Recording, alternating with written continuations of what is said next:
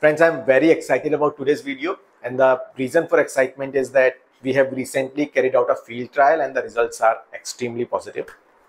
Uh, this field trial we carried out was about cucumber, uh, the normal slender English cucumber that you generally see in most of the metro cities which is consumed today. We grew this cucumber in an environment using two different methods. One is the old traditional vanilla method without using any technology and in the second method, we use the technology developed by City Greens and automated the entire process of growing.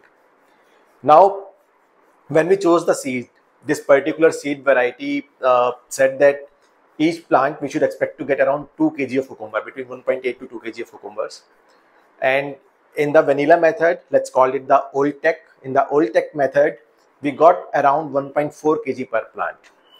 But when we talk about the new tech method, where we used automation and we used the technology developed by us in-house, what we actually ended up getting is 2.36 kg per plant, which is even more than what was predicted or told to us by the seed vendor is about my expectation of what we should expect.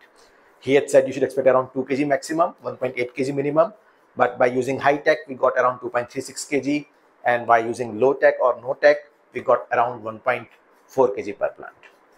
Now, if we extrapolate that number to an acre of farming, and that is why we are so excited, in the low-tech method, we will look at around 70 quintals or rather 70 tons per acre per annum of cucumber yield from the farm, which is typically what generally most of the cucumber growers will get.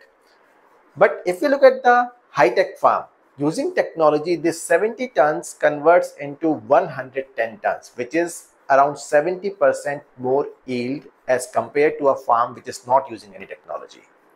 And this is what makes it very exciting because now if you look at the numbers, how does this pan out in terms of profitability of the two farmers?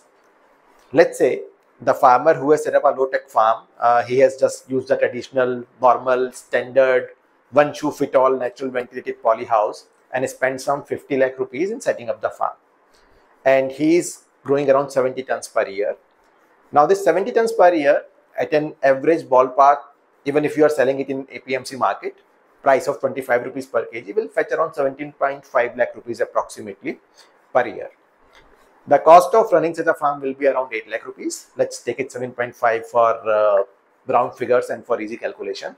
So this guy farmer is earning 17.5 lakh rupees, spending 7.5 lakh rupees so ending up making a profit of 10 lakh rupees per acre on an investment of 50 lakh, which means he will take around five years to recover the investment, which is typically the scenario when we look at farming. It generally takes between anywhere between 4.55 to 5.5 years to recover your investment. Now let's compare it with the high-tech grower. This high-tech farmer, let's say he's not spending 50 lakh, he's spending anywhere between 70 to 80 lakh rupees in setting up his farm. But the revenue he is getting on the 110 tons at the same price of 25 rupees is around 27.5 lakhs. On the cost front, there is not going to be any difference. In fact, the high-tech farm may actually experience a little lesser cost as compared to the uh, low-tech farm, but let's assume the cost is similar, 7.5 lakhs. So the high-tech grower is now making 20 lakh profit per annum because he is getting much higher yield as compared to the low-tech grower who is getting 10 lakh profit. With a 20 lakh profit, even if your investment is 80 lakh, your recovery period is 4 years and not 5 years. So that means a 20% jump in your rate of recovery or your return on investment or your IRR approximately as compared to not using technology and going for a low tech farm, even if you're spending more money in the technology.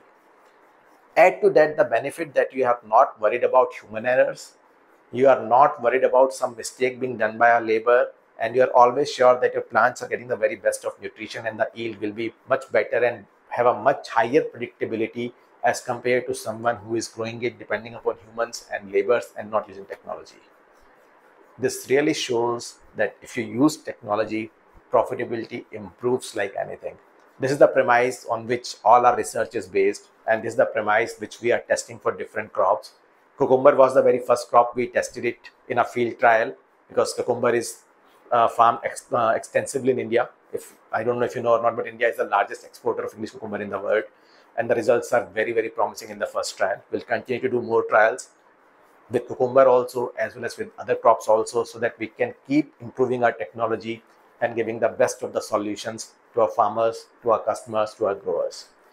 Thank you for watching this and if you like the content, please do spread the word, do subscribe to our channel and do share it with others. It will help us do more research and come up with better solutions for all of us and for all of you. Thank you guys. Take care and keep watching.